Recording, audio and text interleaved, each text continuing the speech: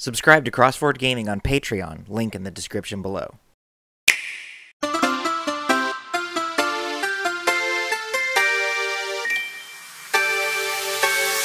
So Nintendo just streamed an indie showcase, and I wanted to touch on a few of the games that I thought stood out.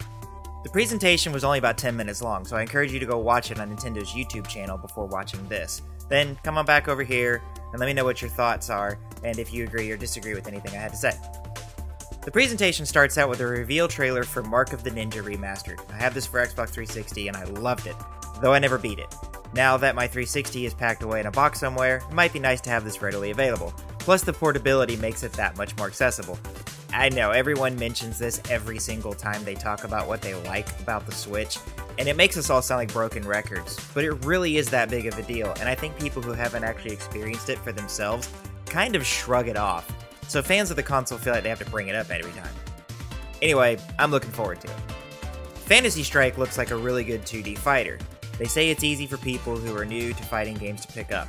I prefer 3D fighters like Tekken or Soul Calibur. Well, and I also like Smash Brothers. But this looked interesting enough that I'll at least be following it and might even buy it if the price is right. The next few games looked really weird. Some in a good way, others in just a weird way. Shapes and Beats was a strange concept, but I like music games, so this will probably be something I check out. Garage is a gritty twin stick shooter by Tiny Build Games. They did Mr. Shifty, which you can actually get for free on PC right now if you're a Twitch Prime member, so make sure you check out that 30 day free trial we've got linked in the description below.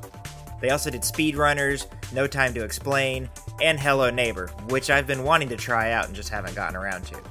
Garage probably isn't something that's going to interest me much, but I know a lot of people who will be very excited for it. Then there was Pool Panic, a very odd looking adventure game where you're playing pool and I actually think that you are specifically the cue ball. It's strange looking. It's by Adult Swim, so it's gonna be friggin' weird. I got excited for Lumines Remastered, but then I realized I was thinking of a different game called Meteos that was on the Nintendo DS. I loved Meteos. I haven't played Lumines, so I don't really have an opinion on it, but it looks like it's probably alright. Lightfall looks awesome. Like it's a 2D platformer where you create blocks out of thin air to traverse the environment Looks very fast paced and difficult. This is definitely one I'll be checking out. I love this kind of thing. They said there's going to be speed runs and leaderboards, so this is right up my alley, and I'm really excited for it, and I can't wait to play it. West of Loathing was a thing. It stood out because of the art style, but I'm not sure it's something I'll care about. Now, my son likes almost anything that is done with stick figures, so as long as it's child appropriate, I might pick it up for him. The presentation ended with the announcement that Banner Saga 3 is coming to Switch this summer, and that sometime before that, the first games are getting ports to Switch. I've never played a Banner Saga game before, but I know they're popular, so I'm glad Switch owners will get a chance to play them on the go. I know there were a few more games mentioned, but these were the ones that stood out to me for one reason or another.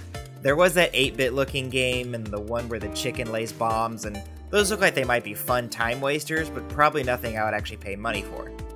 Of course, a few of the ones I called out I probably wouldn't pay money for either.